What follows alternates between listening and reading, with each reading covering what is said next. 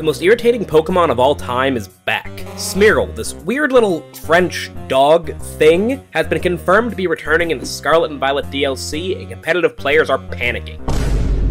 Here's why. Smeargle only learns one move, Sketch, but that move is actually every move. When you use Sketch, it gets permanently replaced with the last move of its target, even after the battle is over. Smeargle learns Sketch over and over again once every 10 levels, so at 1, 11, 21, you get the idea. So, you can use Sketch to craft the perfect move set. Easy, right? Get yourself a Smeargle with a moveset of Glacial Lance, Behemoth Blade, Precipice Blades, and Surging Strikes, and you're ready to hit the ladder with the most broken Pokemon ever, right? Well, oh hold on, it's not that simple. Even Game Freak wouldn't make something that broken, at least not yet. Smeargle's base stats are terrible, so befitting of an artist Pokemon, we have to get a little more creative. Instead of using Smeargle to deal huge damage, competitive players use him as a support, because he has literally every tool in the game. Have you ever sat there in team building and been like, oh shucks, I wish my Trick Room setter also had access to Spore and Fake Out? Well, with Smeargle, that's never an issue. You can tailor your Smeargle to fit perfectly on any team. For example, in the 2016 Pokemon World Championships, Aaron Traylor brought a Smeargle with Spiky Shield, Wide Guard, Crafty Shield, and Dark Void. His team was centered around the extremely powerful Geomancy Power Xerneas, and this Smeargle kept it safe from status moves and spread moves. No other Pokemon in the game gets access to both of those moves at the same time. Compare that to the other Smeargle in Top 8 of Worlds that year, run by Barry Anderson, who ran a set of Fake Out,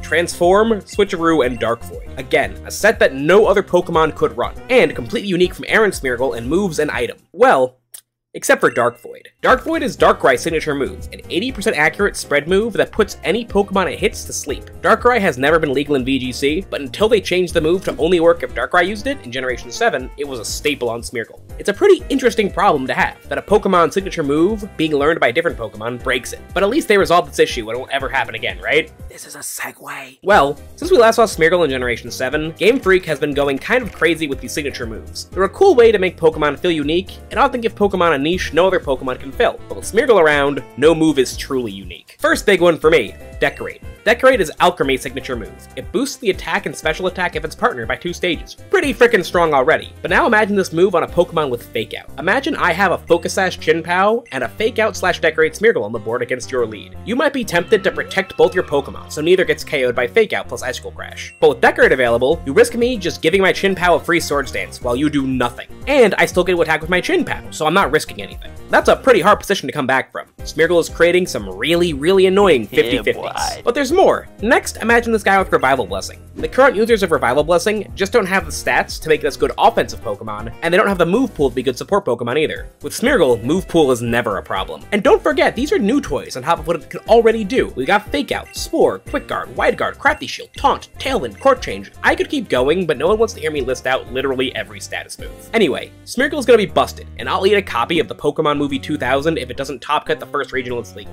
Don't forget to like and subscribe, and let me know what you think of Smeargle in the comments.